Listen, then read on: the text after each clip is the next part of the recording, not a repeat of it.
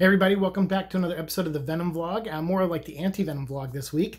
And we are diving back into the comic books. Again, movie news is kind of slow right now. We talked about that a couple episodes ago.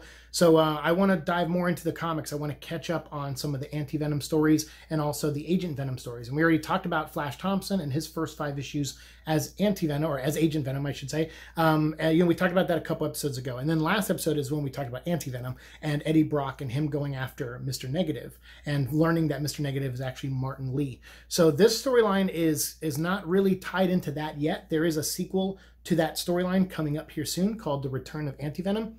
But before we get there, we're going to talk about this mini series that came out uh, that was called like The Amazing Spider-Man Presents Anti-Venom: New Ways to Live, because obviously New Ways to Die was the storyline that introduced you know the character of Anti-Venom and Eddie becoming him.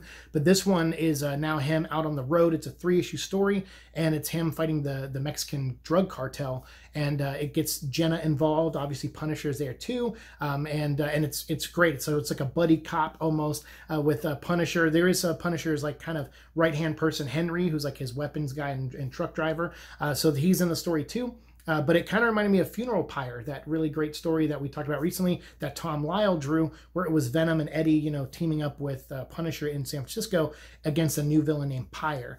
And so this one is really, really awesome. It's written by Zeb Wells, who I'm a huge fan of, and I do defend. I know a lot of people, are, you know, aren't a big fan of his dark origin story.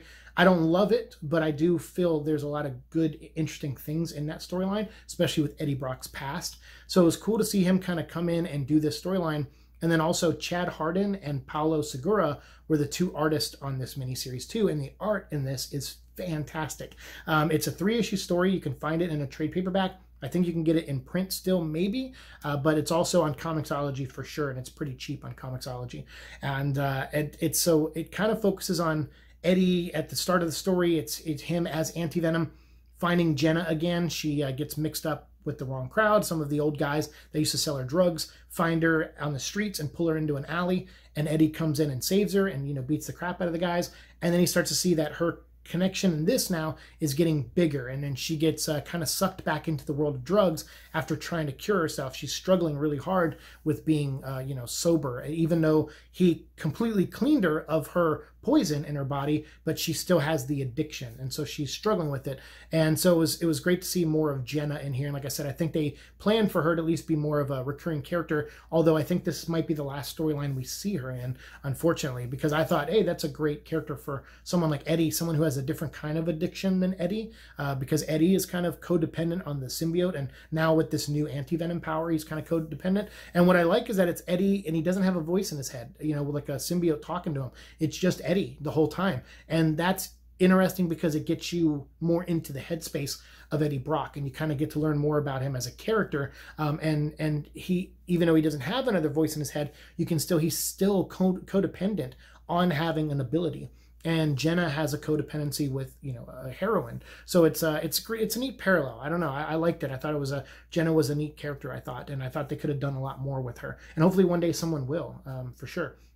I know if I if so, I know if I ever got to write a, a, Venom story, I would try to bring a character like her back in, um, and and some of the other people from Eddie's past as well. So uh, so this storyline really really solid uh, writing, great artwork. I really like the artwork in this one, and uh, it has Venom or anti Venom, I guess. Uh, you know, rescuing her again, and then she gets again pulled into this world. Uh, the guy who is selling her drugs, who you know, she got mixed up with some Mr. Negative guys before, but now she's getting mixed up with this Mexican drug cartel that has guys up in New York and things like that. And uh, and so the guy who runs the cartel or this part of the cartel is called the Quintas as his name, and he's like this really nasty dude. He's got but he's got like these mutton chop, kind of like Wolverine, you know, chops, um, and uh, and he's got like spiky black hair, and he's big. He's like a ripped dude and he's got arsenal out the crap you know like he's got a like a little fortress with uh, weapons galore. And uh, and so he's a pretty formidable foe but while Venom or Anti Venom is trying to help Jenna and get her back on her feet and cure her once again because she gets in with these guys and they grab her and they force her down and they drug her and they force her to take drugs. And Eddie shows up just in time before they could, you know, luckily do anything worse. And they, he takes them down, he kills all the guys. And one of the guys even has a Venom tattoo on his arm. So, like, you know, old school Venom, like with the tongue out and everything. And, you know, Anti Venom sees this or Eddie sees this and he's like, I can't escape my past. It seems like you know, like I'm still doing horrible things. I, I mutilated these guys. I killed them. He goes, but they're bad guys. And he goes, so I'm, I'm trying to not repeat the sins of my past or the way I was. Try to be a better person. He goes, but you know, these guys make it so hard because of the horrible things they do. And so, but it was cool seeing him looking at his hands, and in between his hands and the artwork, there was this guy's arm with the venom tattoo. And I was like, wow, great framing, great. You know, I don't know if Zeb wrote that in the script or the artist came up with that but it's man, it was such a good idea. It's so it's so visually cool looking, and I like the the parallels there of his like white anti venom hands, and then seeing the the venom head in between on a tattoo. I thought was really good. So as Eddie has just helped Jenna again, the Punisher is now on the trail of this Quintus guy, and he's coming into town and you know following breadcrumbs to lead him to his organization. So of course Punisher, that's what he does. He tracks down mob bosses and cartel members, and he just kills them all. Right. So as he's going through New York City, he of course comes across uh, Eddie Brock as Anti Venom, and he sees him, and there's this great moment at the end of the first issue where Eddie is like, uh, "All right," and he turns you know into Anti Venom, and he's like, "Let's go do this," and then Punisher just pulls up a shotgun, puts it right to the back of Eddie's head, and fires the gun, and that's where the first issue ends. Uh, so the best thing about this is that it's this three issue buddy cop storyline, but they're not buddies at all. Eddie really he remembers He's like, hey, we teamed up before. You know, is, is this going to be fun? And you know, he's kind of like, you know, we we're kind of on the same wavelength. Like we want to take down bad guys, and and uh, and Punisher's like, yeah, I'm not teaming up with you. You're a freaking monster. And he goes, and I don't care that you're, you know, Eddie Brock and that you're reformed or whatever. He's like, I don't care who you are. He's like, uh, I'm going to kill you. And I'm, every chance I get to kill you, I'm going to take that chance. So when he shoots him in the head, you know, Venom turns, anti-Venom turns around. He's like, are you kidding me? Like, so the next issue starts off. And so they get into a little tussle and, and, uh, you know, Punisher kind of gets put in his place a little bit, but he's still ready to like fight. And he's like, he's like, come on, like, let's keep going. And he's like, look, there's a young girl, you know, Jenna, she's been kidnapped now uh, because of us fighting you know the cartel got away with her and now they're you know they sent like him a video and they're like look here she is and it's like her uh, you know jenna being drugged up again. He's like i'm gonna pump her full of every drug i have and i'm gonna do all these terrible things to her and eddie's like we got to go save her and he goes you know this is the guy you're after. I'll help you take him down. We can work as partners. Let's go do this. And uh, and so punisher's like all right, Henry, you know, pull the truck around. So Henry, his partner, you know, who like kind of runs his gear and stuff and helps him out. He's like, all right, let's let's go and, and work with him for now, and we'll see what happens. He goes, but you know, don't turn your back on me, you know, Agent Venom or Anti Venom. He goes, uh, don't turn your back on me because I'm definitely gonna take you down. And so, uh, so you know, Anti Venom's like, fine, all right. Eddie's like, I got it, man. So the second issue is kind of them in the van taking a trip to this location to go take down the bad guy. And there's this great moment where they're like uh, they came up with fake ids and they're you know uh, eddie like turns back into eddie but you know and he's kind of standing there uh, sitting in the passenger seat and, and henry's between him and uh, frank and frank's in the driver's seat and he gives his his fake ID to the the woman at the gate, and she's like, "All right, let me run your you know thing and make sure you guys are here for you know the prop like which you know you're here for right reasons or whatever you you are who you say you are." So she grabs his identification and she turns and she starts putting it in, and then it is this great six panel uh, layout, which is so amazing, where right as she turns her head, Frank pulls out a knife and goes like this to stab it right into Eddie's chest. And luckily, the sim, you know, the the anti symbiote, whatever it is, comes alive and grabs the knife and stops it from going into Eddie's heart. And he's like, "Are you crazy?" And then, uh, you know, Frank lets go of the knife, and he's just like, he's like, Ugh. he goes, "I told you." He goes, "He goes, I'm gonna try to kill you at every turn." And Henry, by the way, is just like in the middle, going, "Please don't fight! Please don't fight!" and meanwhile, this lady's checking his ID, and he's he was full on gonna stab Eddie. I mean it was oh, it was so good. I mean, that moment right there made me laugh so hard. I thought it was really well done, very well executed drawing wise. It hit the right comedic beats to make it funny. And uh, and Zeb, you know, wrote the, the greatest dialogue in there for that scene, and it made me laugh so much. But I love how Zeb constantly kept, kept that tension between Eddie and Frank through the whole book. He just is like, look, Frank hates Eddie Brock, so they're not buddies. They're not here on a on a mission together, even though Eddie thinks they are. Frank does not see it that way, and Frank's going to come at him with everything he can. And uh, and so in the third issue, when they finally get to the drug cartel place and they uh, you know go up against the Quintas and all of his men, of course they make short work of it. Eddie's able to go through. Uh, I think Frank at one point when they're fighting each other use a flamethrower on Eddie, and Eddie's like, "Yeah, fire doesn't work on me anymore, dude." And he's like, "So uh, you know, so knock it off. Stop trying to kill me." And uh, but then you know Eddie does wound Frank really badly and he cuts him and uh, and so he gets so he's like bleeding heavily. And so so Punisher decides to sit back and pull out a sniper rifle and he's like all right I'll let a- Agent Venom or Anti Venom I always mix the two up uh, I uh, you know a a Venom and a Venom. So yeah the initial so um anyway Anti Venom he's running into the place try to save Jenna he does. He's able to save her once again, curing her of all the drugs that uh, that uh, you know that the Quintas put in her, which is just crazy. I mean, she's still kind of out of it uh, by the end of the issue, but this poor girl has been like injected, has injected herself and been injected with so many drugs in just like the two storylines we got of her, and it's just it's so heartbreaking um, the stuff she's gone through that's why I would like to see more of a story with her where maybe she's kind of reclaiming her life in some way or doing something positive out there, you know, kind of bounce back. I'd love to see more of that, uh, you know, later on with her.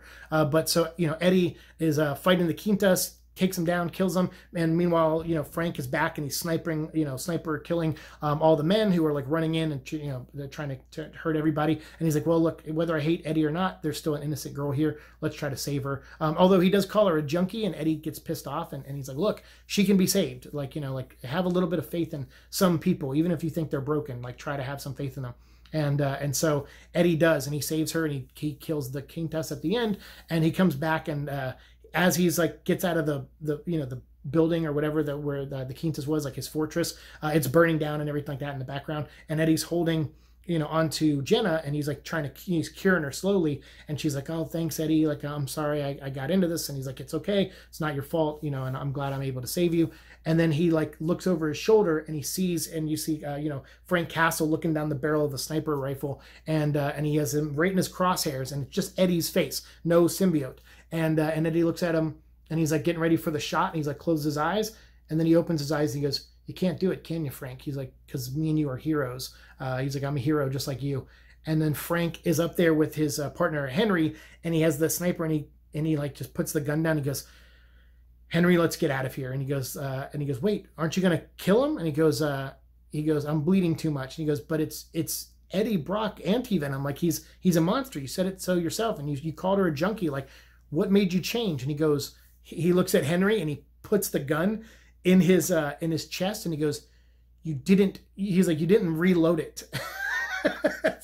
even still at the end, Eddie thinks that you know Frank let him go out of some kind of kindness, and Frank full on pulled the trigger. And I love that they didn't do like a click, you know, sound effect or nothing. They just showed Punisher put the gun down and be like, and he and he puts the gun or the rifle back into Henry's chest and he's like you didn't you didn't reload the freaking gun after I took out you know um, some of those uh, drug because I guess he was like taking people down and then passing a clip and then getting another clip and putting it in. And then so he passed a clip and I guess Henry never gave him another one because all the other all the bad guys were down. So when he pulled the trigger there was no bullets in it. And I was like that's so great. Frank still to the end did doesn't care about Eddie and he still wanted to kill him. So yeah best best buddy reminded me of like Tango and Cash a little bit, uh, like in the beginning when they really start hating each other. By the end, I think they become really solid teammates, obviously. But in the beginning, they really you know hate each other and they go at each other and stuff. So I was like, this is so great. Like I I love that buddy cop anti buddy cop story.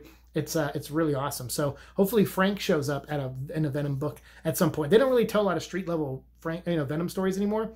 So maybe Jenna and, and Frank aren't really able to get in there, but uh, I would love some. I mean, make some. There's a Venom movie coming out. Marvel, make some miniseries. Like get some other writers out there to do like you know three issue miniseries that you know to just have more Venom content for when the movie comes out. Uh, you know, so um, yeah, I would love to see some street level stuff like that and characters like Jenna and Frank come back in.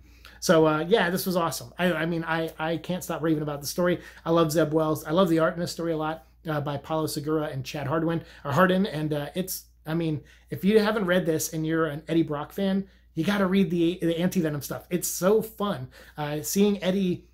It, they're really diving into him as a character, but they're like it, it, feels like very much of a throwback to the '90s stories where it's kind of goofy fun, um, which the movie kind of captures a little bit of with uh, Tom Hardy's performance. He tries to capture that side of Eddie and did a really great job at it, as far as I'm concerned.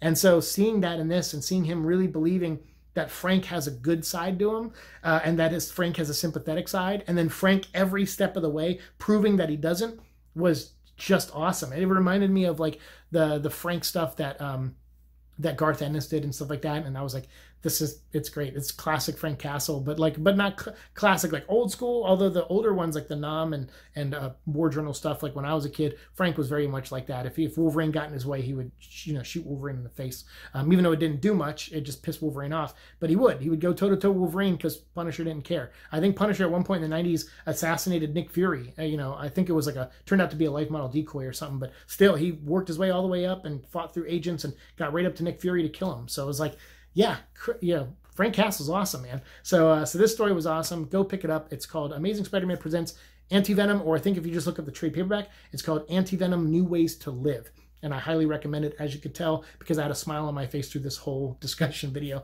So uh, if you've read it yourself, let me know what you think down below. Uh, if you haven't, please go check it out and then come back here and let me know what you think down below. And we'll continue our conversation as always down there. Uh, we do have one more story coming up called Return of the Anti-Venom. Um, we'll probably talk about that next. I don't know if I'll record that today now that I've gotten through a few of these and they ran a little longer than I thought. I may save that one um, and you know do it in a couple days from now. Uh, but you'll probably definitely get it before I hit the road for, for Florida. And then the last one you'll get a video on is the Revengers storyline, which is uh, two Avengers annuals that came out back to back, part one and part two where Wonder Man kind of creates his own team uh, called the Revengers, and they go after the Avengers because uh, Wonder Man is is as a former teammate of theirs is sick of seeing the the horrible things that they let bad guys get away with by just you know arresting bad guys. And they're like you guys are part of the problems. All the big problems that happen in the world in the past few years have been wanda maximoff or scarlet witch you know with house of m um, the age of ultron stuff that you got you guys created ultron um, he's like you guys bring all the bad things. Civil war